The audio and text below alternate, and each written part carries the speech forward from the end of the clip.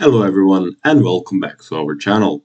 In today's tutorial I will be explaining to you how can you change your phone mobile number uh, on your Square app. First step is to log in into your Square app dashboard from your uh, PC. Then on the left hand side you will scroll down until you see the settings button. When you click on settings you will click on account settings.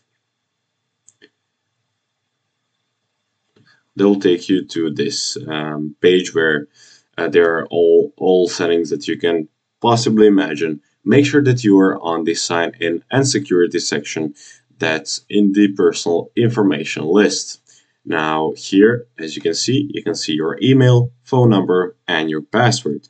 Right now, I have no phone number. In order to add it, you will click on this blue button that says add, type in your mobile phone number and add the country prefix. And when you click on continue, it will simply add your phone number. You will see it here, and then you can use it for whichever purpose, whatever purposes you imagine.